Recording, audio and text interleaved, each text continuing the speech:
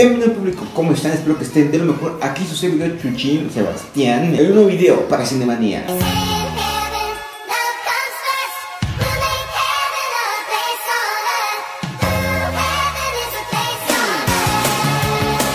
Bueno gente, como ya saben, pues yo antes me dedicaba a subir historias de, pues, de Black Mirror. Si no conoces esta serie, pues te recomiendo que la vayas a ver a Netflix porque está muy buena. O sea, no es que Netflix me pague ni Black Mirror, pero a mí se me hace muy buena y la quiero contar. Sí, ya he contado varias historias de Black Mirror en mi canal, aunque algunas ya están bloqueadas porque YouTube no me permite subir. Pero esperemos que este sí, porque este sí, sí, este sí es importante, este sí. Y bueno, gente, ya lo tenía pensado contar la historia de Black Mirror, el capítulo de la temporada número 3, el capítulo 4, llamado San Junípero. Este capítulo es, es verdaderamente increíble, es uno de los mejores de la temporada, es uno de los mejores de la película, de la serie de Black Mirror. ¿No me crees? Ah, ¿no me crees? ¿No me crees? Ah, pues, ponla, ponla director, ponla director, eh, por favor, pon, pon, la historia para que veas que sí es la mejor. este güey, ¿cómo ves que no? No, no.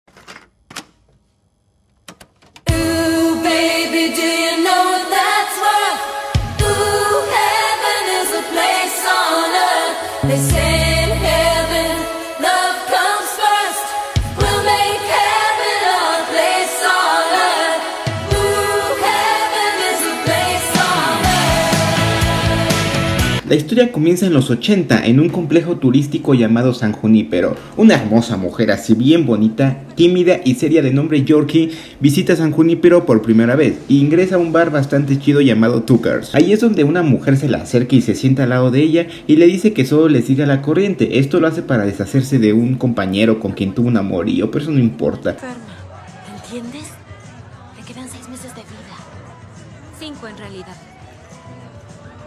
Sin siquiera conocerse, Yorkie le ayuda a que su amigo se vaya. Después de que se va, la chica se presenta con el nombre de Kelly, Kelly Kelly, y le agradece por lo que hizo. Kelly le invita a tomar unos tragos y Yorkie pues penosa, ¿no? Pero acepta. Comienzan a platicar y a llevarse bastante bien. Después se ponen a bailar esa canción, la de la que aparece en Bob Esponja, ¿no? sí.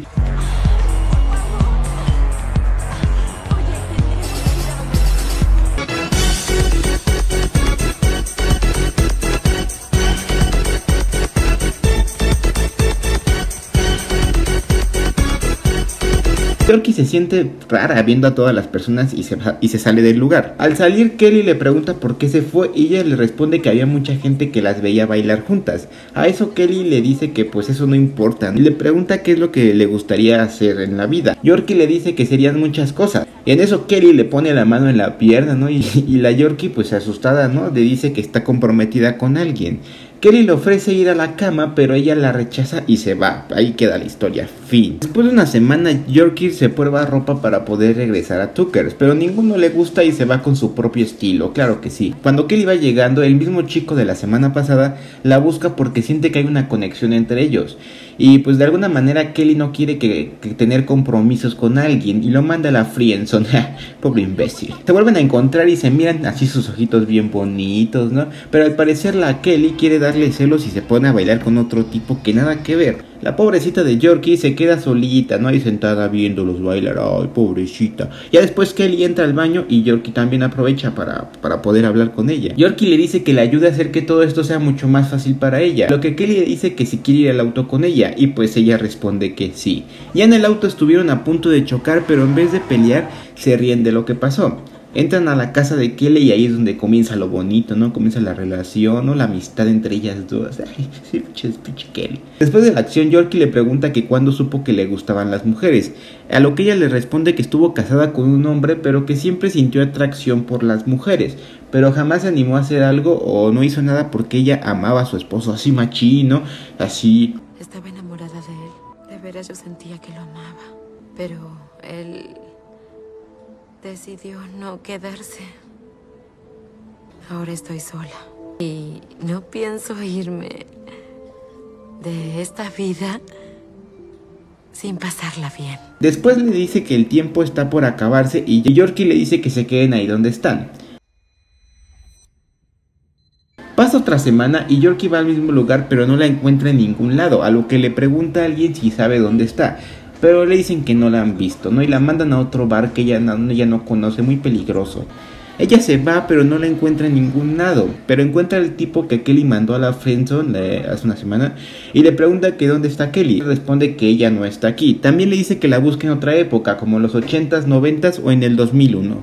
Al final el tipo solo le dice que ella vale la pena, así machín de que dice, esa pinche Kelly vale la pena, o sea, cabrón. La siguiente semana solo se dedica a buscarla en 1980 y 1996, hasta que por fin la encuentra en el año 2002. Comienza a discutir con Kelly porque se fue y ella le responde que le gustan cambiar de música y de época. ¿No te sientes mal? Deberías sentirte mal. O quizás sentir algo al menos. Kelly golpea el espejo pero no le sangra su mano y el espejo al parecer está intacto, ¿no? Qué raro. Se sale a buscar a Yorkie y le pregunta a una pareja si no la vieron. Ellos miran al cielo y ven una tipa en la azotea de un edificio sentada. Kelly piensa que ella se va a aventar, pero no, pero de todas maneras va a buscarla. Ya estando juntas, ella prometió que el tiempo que pasaría ahí en San Junipero no sentiría nada por nadie. Le comenta que se asustó y que ella solo fue un maldito inconveniente, pero de forma bonita, ¿eh? no, no, no se lo dijo feo. No sé cuánto me queda. Y no puedo. No estaba lista para ti, para querer algo.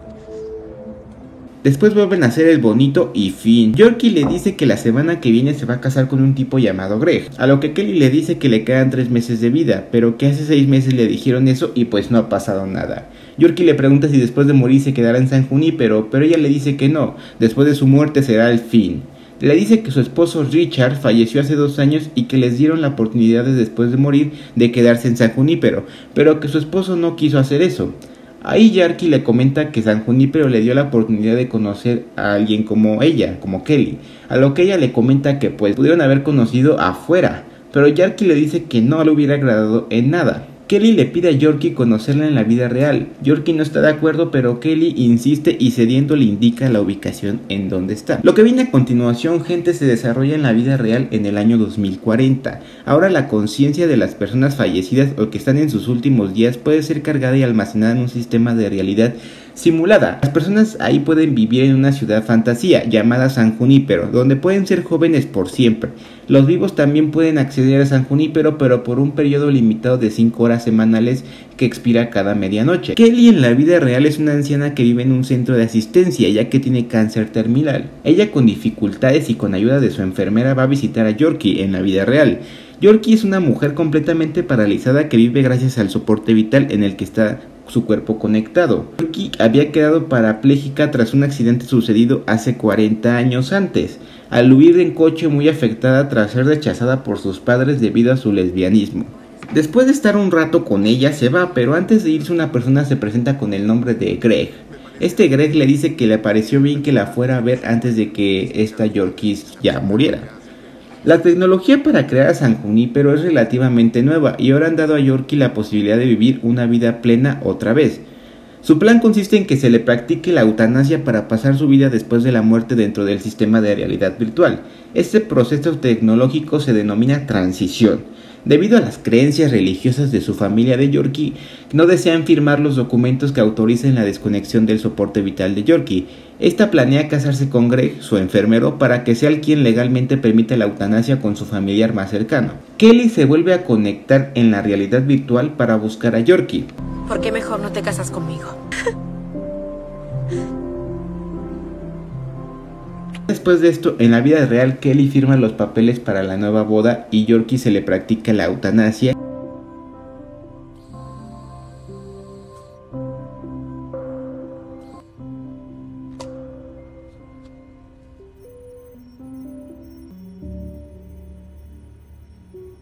Después de todo, Kelly va a casa y se conecta de nuevo para ver a Yorkie. Dos vestidos de novia disfrutan de su luna de miel, ¿no? Ahí es bien bonito. Todo iba bien hasta que Yorkie le dice a Kelly que se quede aquí para siempre, pero Kelly ya tomó la decisión de que no lo hará para honrar a su esposo que falleció y a su hija que murió a los 39 años. Yorkie, aún sin saber lo de su hija, le dice que su esposo la dejó sola y que ella debe de continuar entonces. Kelly se enoja y se desconecta de San Junípero. No, Rich se moría. Él agonizaba y le ofrecieron esto, la oportunidad de irse, de pasar a la eternidad en este cementerio de mierda que tanto amas, pero él dijo no puedo. Si ella se lo perdió, yo no lo haré. Quisiera creer O imaginar que está con ella ahora, que están juntos, pero no. No están en ningún lado. Tal como dijiste, se fueron. Ya después el tiempo pasa y la salud de Kelly en el mundo real empeora. Al ver que el tiempo se le agota, cambia de opinión y opta por vivir junto a Yorkie en San Junípero para siempre. Una vez fallecida, su cuerpo del mundo real es sepultado junto al de su hija y de su esposo. La escena final muestra a Kelly reencontrándose con Yorkie en San Junípero. Ambas suben a su auto donde se besan y conducen hacia el horizonte.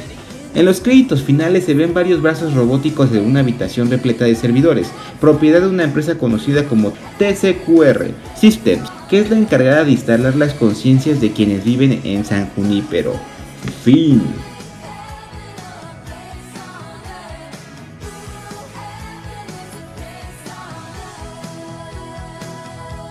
Bueno gente, espero que te haya gustado este video, si te gustó, si fue así puedes regalarme tu like, suscribirte. Y si no te gustó pues no, no dejes nada, ya nomás vete. Así como si nada hubiera pasado, ¿va? Estaremos subiendo también más capítulos sobre Black Mirror, este, son completamente diferentes, cada, cada capítulo tiene su propia trama e historia, así que pues aún nos queda bastante, bastante de dónde agarrarnos, ¿no? Recuerda que subimos videos los lunes, jueves y los sábados, pero los sábados no, no, no me hagan caso, no. Espero que el video les haya gustado, gente. Este es uno de los mejores, a mi opinión, uno de los mejores capítulos de la serie. Este, si no la han visto la serie o quieres ver el capítulo, te dejaré aquí abajo el link, eh, aquí en la descripción, aquí abajo, para que vayas a ver el capítulo que acabas de ver o que te acabo de contar. Y si quieres ver la serie, también vas a encontrar un link aquí abajo para que la veas gratis. Gratis, la pirata gratis, porque yo soy, yo soy rico y se las voy a dar gratis, gratis, gratis, sí, gratis. Sin nada más que decir, gente, nos vemos en el próximo episodio. Bye.